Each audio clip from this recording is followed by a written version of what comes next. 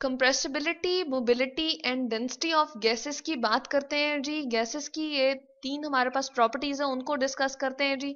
सबसे पहले तो लिखा हुआ है कंप्रेसिबिलिटी जैसे कंप्रेसिबिलिटी के नाम से ही हमें पता चल रहा है जी, किसी चीज़ को हमने क्या करना है? प्रेस करना है, ठीक है? प्रेस प्रेस का जैसे वर्ड है तो हम किसी चीज़ पे प्रेशर लगाने की कोशिश कर रहे हैं। अब यहाँ पर हम देख रहे हैं जी, हमारे पास जो गैस के मॉलिक्यूल्स हैं, इस वाले सिलेंडर में हम देख रहे हैं, ये हमारे पास एक बर्तन है, या हम सिलेंडर कह सकते हैं इसको गैस सिलेंडर जिसके अंदर हमने गैस जो है वो क्या रखी हुई है जी, बंद करके रखी हुई है, और उसके ऊपर क्या रखा हुआ जी, एक पिस्टन ऐसी चीज़ है जिसको, जिसकी मदद से गैस जो है वो बाहर नहीं मूव कर रही। तो अब क्या करते हैं जी, यहाँ पर हमने सिर्फ़ एक बाट रखा हुआ ऊपर यानी कि एक ही वज़न रखा हुआ है। अब जैसे ही हम क्या करते हैं, दो रख देते हैं तो इसका वज़न बढ़ गया। जैसे ही वज़न बढ़ा तो अब इसको क्या करने की कोशिश कर रहे हैं जी हम? प्रेस कर रहे हैं, यानी कि ये नीचे की तरफ़ प्रेस होता जा रहा है। तो हम इसको कह सकते हैं कि हम क्या कर रहे हैं, इसको कंप्रेस करने की कोशिश कर रहे हैं। और और ज़्यादा वेट बढ़ा देंगे तो क्या होगा जी, हमारे पास ये हमारे पास ये और ज़्यादा जो है वो कंप्रेस होती जाएगी। इस, ऐसा क्यों हो रहा है जी कि हमारे पास जैसे जैसे हम जो है इसमें वज़न बढ़ाते जा रहे हैं या हम पिस्टन को जो है वो उसकी मकदार ज़्यादा करते जा रहे हैं पिस्टन के ऊपर जो वज़न है उसकी मकदार ज़्यादा करते जा रहे हैं तो हमारे पास ये जो है गैस जो है वो कंप्रेस होती जा रही है और इसके मॉलिक्यूल्स करीब करीब आ रहे हैं जी। ये जो ब्लू कलर के आपको नज़र आ रहे हैं, इसको हम कह रहे हैं जी गैस के मॉलिक्यूल्स हैं, जो अब क्या हो गए पहले बहुत दूर दूर थे और अब करीब आते जा रहे हैं। ऐसा क्या होता है जी हम देख रहे हैं जैसे कि गैस लिक्विड और सॉलिड के अंदर हम देख रहे हैं। सॉलिड के मॉलिक्यूल्स हम देख रहे हैं या इसके एटम्स जो है वो बहुत करीब करीब होते हैं। जैसे कि हमारे पास अगर आइस क्यूब को हम ले लें या हमारी जो बुक है या आपका जो कंप्यूटर का माउस है उसको देख लें, यही वजह है कि उनका एक खास स्ट्रक्चर होता है। वो बड़े सख्त होते हैं और हार्ड किस्म के होते हैं सॉलिड क्योंकि उनके मॉलिक्यूल्स या उनके एटम जो होते हैं बहुत करीब करीब होते हैं। उनमें मूवमेंट की एबिलिटी बिल्कुल नहीं होती क्योंकि उनके दरमियान में खाली जगह मौजूद नहीं है या स्पेसेस मौजूद नहीं है जिसमें वो आगे पीछे मूव कर सके।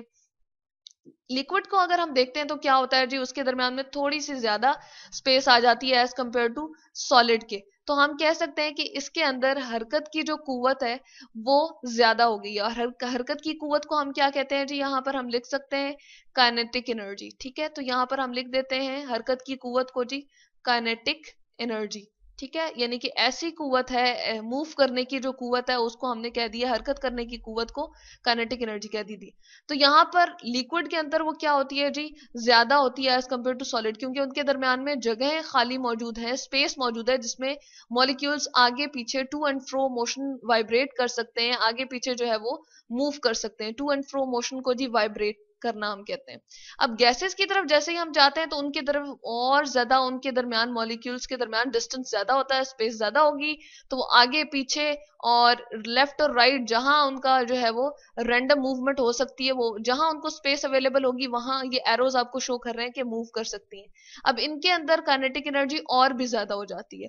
तो इस केस में हमें क्या पता चला? यहाँ से तो हमने काइनेटिक एनर्जी की बात की, लेकिन काइनेटिक एनर्जी के अलावा अगर हम बात करें जी उनकी स्पेसेस की तो उनके दरम्यान में खाली जगह जो है वो मौजूद है, जिसमें अगर हम वज़न उनके ऊपर बढ़ाएँ, यानी कि प्रेस उनको करें तो मॉलिक्यूल्स जो है वो इस दरमियान वाली जगहों में जो है वो मौजूद आ सकते हैं। जैसे ये मॉलिक्यूल यहाँ मूव कर जाए जैसे हम कहें कि ये वाला मॉलिक्यूल जो है वो यहाँ आ जाए, इसी तरह से ये वाला इसके दरमियान में आ जाए, ये जो है वो यहाँ मौजूद हो जाए तो इनके दरमियान में जो खाली जगह मौजूद है, उसमें मॉलिक्यूल जो है वो आने की कोशिश करें और यहाँ पर हम देख रहे हैं कि कितने करीब आ गए तो इसको हम कह सकते हैं कि कंप्रेसिबिलिटी हो जाती है उनमें किस तरह से जी, कि हम देखते हैं कि उनके दरमियान में खाली जगह या स्पेसिस मौजूद हैं, जिसमें एक मॉलिक्यूल जो है वो दूसरी जगह, दूसरी स्पेस में आराम से जो है वो प्रेस होने के बाद आ जाता है। मौजूद होता है और हम कहते हैं कि उनकी हालत जो है वो अब तब्दील हो गई है क्योंकि उनके दरम्यान में स्पेसिस मौजूद थी तो वो कंप्रेस हो गई है।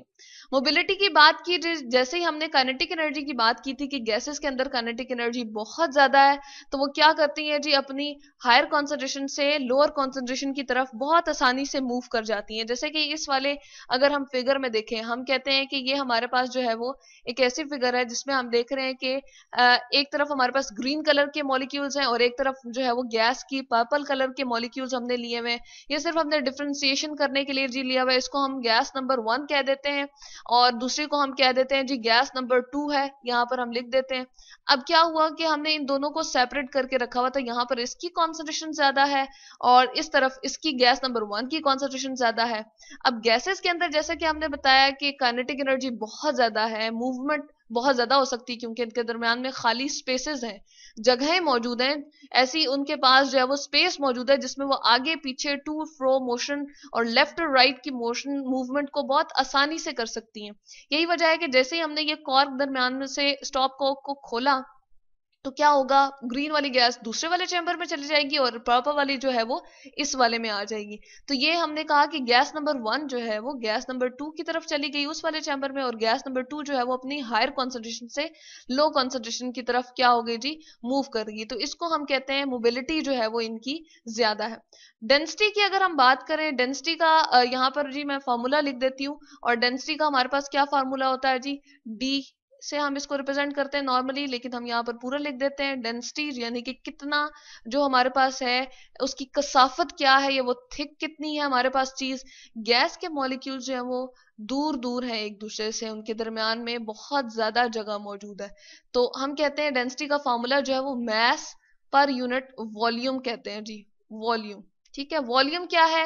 वो वाली स्पेस या वो वाली जगह जो गैस ऑक्यूपाई कर रही होती है, उसको हम वॉल्यूम कहते हैं। जैसे एक कमरा हमने ले लिया, एक छोटा सा क्यूब ले लिया, जिसके अंदर हमने गैस को रखा हुआ जी, और इसके अंदर अगर हम मेजर करते हैं कि कितनी वो जगह घेर रही है, जैसे गैस जो है वो, उसके दरम्यान में बहुत ज़्यादा स्पेसिस होते हैं तो वो बहुत ज़्यादा जगह घेरेगी तो उसको हम कहते हैं कि ये ज़्यादा स्पेस को ऑक्यूपाई कर रही है। तो वॉल्यूम जब, जो है वो ज़्यादा है तो उसकी डेंसिटी क्या होगी जी वो?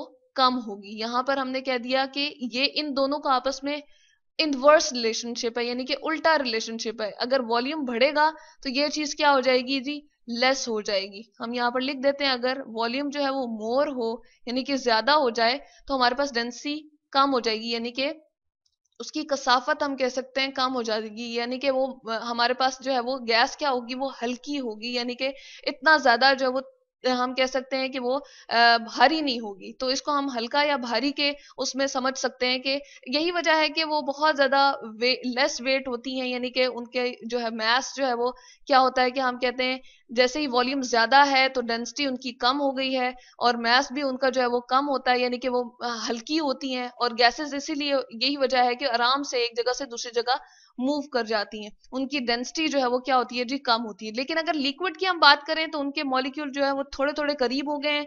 उनका वॉल्यूम जो है वो क्या होता है जी, कम हो जाता है। यानी कि वो लेस स्पेस को ऑक्यूपाई करेंगे।